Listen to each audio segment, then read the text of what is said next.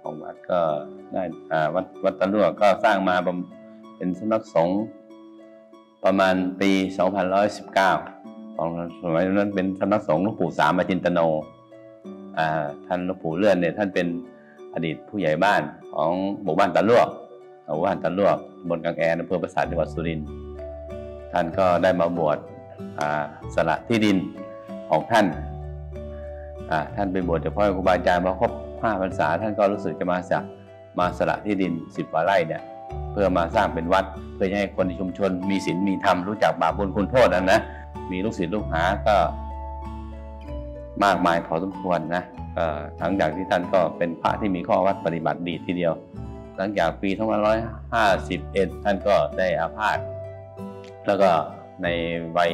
93 ปีศาสนสถานที่สำคัญของวัดก็คือวิหารหลังนี้แหละ ที่ที่จะเป็นแล้วก็บริบททั่วไปคือ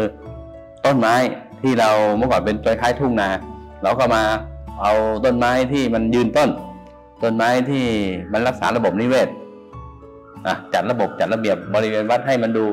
ดี แล้วก็ดูแลง่าย แล้วก็มีต้นไม้หลักๆ ต้นไม้ตะเคียนบ้างต้นไม้พยุงบ้างต้นไม้ต้นยางบ้างคือสารพัดต้นไม้ที่เราสามารถที่เขาจะเกิดได้ ที่เขาสามารถที่จะต่อยอดของเขาได้ อ่าตรงทนปลูกมาก็ ก็ต้องใช้น้ำลดตลอดนั่นแหละ กว่าเขาจะมาโตโตได้แต่รุ่นแต่รุ่นแต่รุ่นอะไรนะมันก็จะมีมันจะมีมันมา ก็คือตรงนี้ก็คือว่าต้นไม้แล้วก็สถาวรวัตถุ ถ้าเป็นศาสนาวัตถุก็เป็นพวกศาลา